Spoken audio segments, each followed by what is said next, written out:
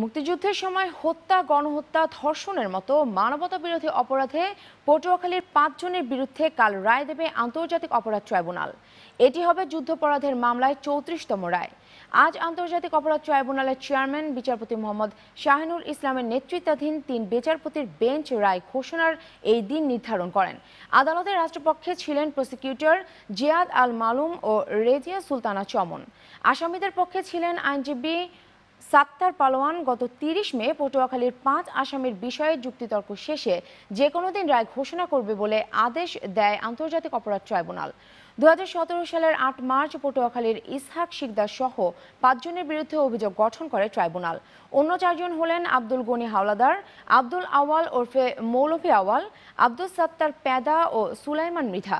এর আগে দু হাজার ষোলো সালের তেরো অক্টোবর এই পাঁচজনের বিরুদ্ধে আনুষ্ঠানিক অভিযোগ দাখিল করে প্রসিকিউশন।